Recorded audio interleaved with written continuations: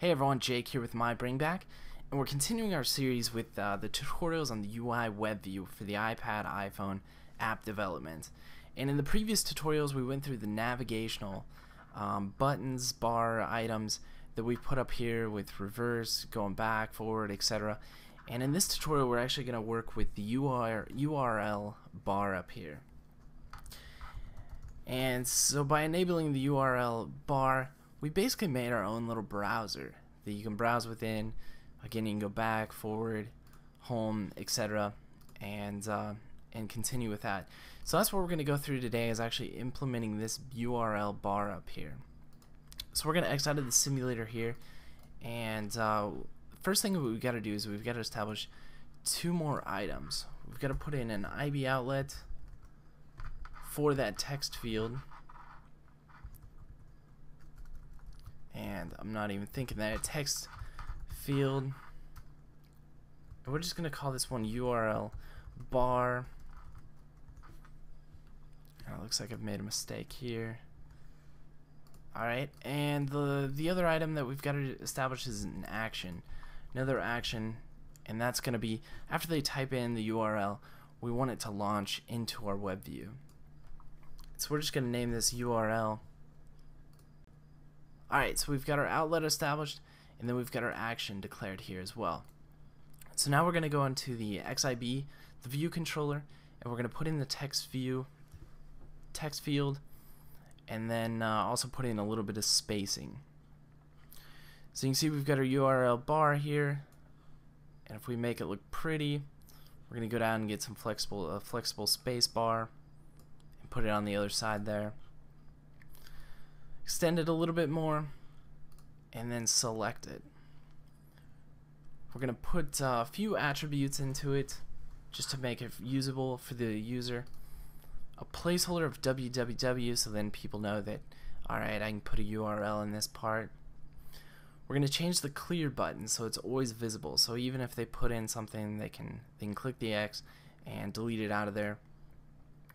And then we're going to go down to the keyboard we're going to change that from the default to the URL and then the return key we want it to go to be a go key. So as they put in, you know, apple.com, then click go and it's going to correspond and go straight to apple.com.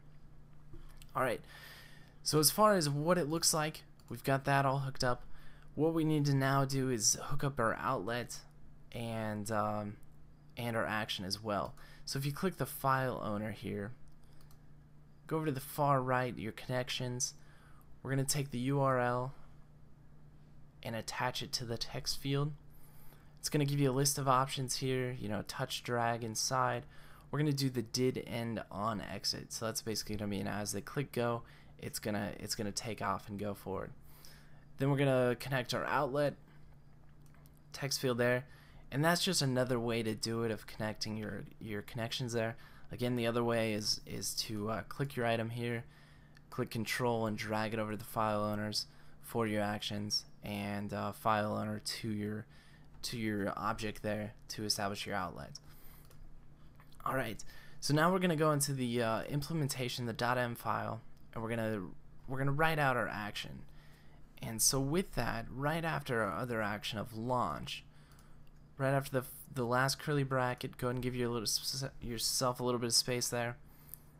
And this is where we're going to write in our IB action.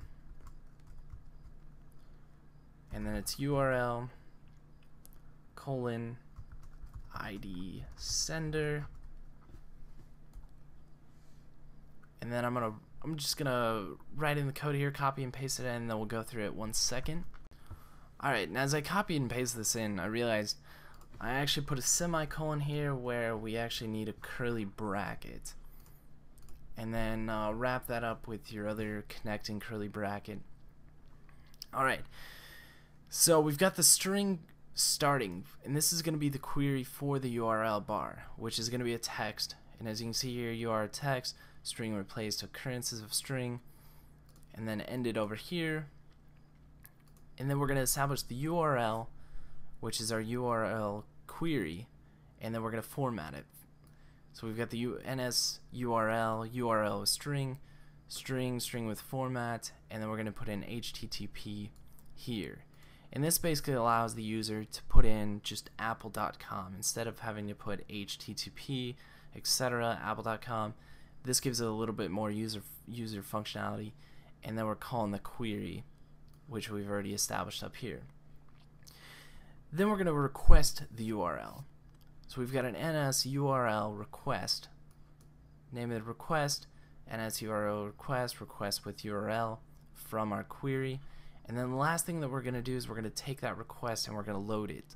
We're going to load it to our URL, UI web page.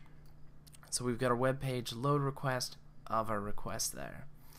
So that should be everything as far as the action that we've established and the outlet that we've hooked up. So let's go ahead and run it, see what it looks like, and we'll go from there. Alright, so you can see our bar is nicely centered up there. So if we put in apple.com, click return or go, and you can see it's loaded correctly on our web page now. So again, we can use our navigational bar up here to go forward and back, go home, refresh, etc. So now we've got almost like a mini browser within our app, which makes it a little bit more user friendly and uh, a little bit more user functions with the uh, URL bar up here. So hopefully that helps. Um, kind of uh, wrapping up the last tutorial series on the UI web view. We'll get into some more, you know, advanced stuff and more functional stuff as you guys see in the, the future tutorials. Again, subscribe. Let me know what you guys are looking for, and uh, we'll go from there. Alright, peace out, guys.